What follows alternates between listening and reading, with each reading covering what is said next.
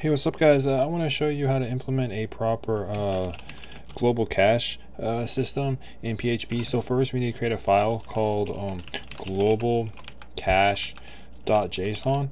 Um, this will let you use this file persistence, persistently across every refresh. Um, it's really awesome. So just follow along, uh, just give me about a minute and a half. Um, so first we need to get the array of this and um, we're going to save our uh, arrays and data inside of that file. And so to get the data back from it, we need to um, use JSON decode and we're going to get the file get contents of that file string.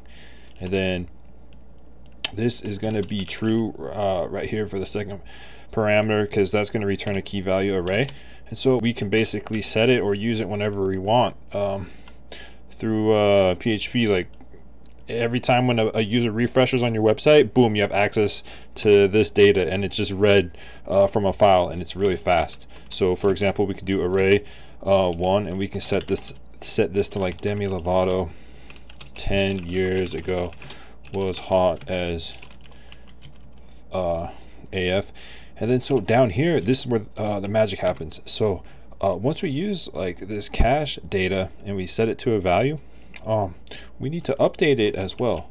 So um, file put contents and we can put file in here and then we're going to use JSON um, encode. And we're going to use uh, the array variable right here but this is where the magic happens. So you want to copy this and then you want to basically have it run um, run the JSON encode on itself two times. So like this.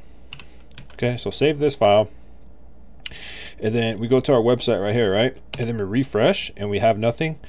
But if you go into your directory, you'll be able to see the global cache uh, JSON file right here, which is saved.